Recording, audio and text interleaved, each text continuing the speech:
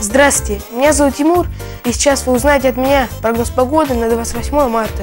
В столице нашего края ночью минус 4, в дневное время суток плюс 3, в Белокурихе ночью плюс 1, днем плюс 5, в Горно-Алтайске ночная температура плюс 2, дневная плюс 4. И теперь о том, какую погоду ожидать в нашем городе. В Бийске пасмурно, возможно, возможно небольшой снег с дождем. Ночью минус 1, плюс 1 днем плюс 2, плюс 4. Желаю бичанам хорошей погоды и счастливой весны.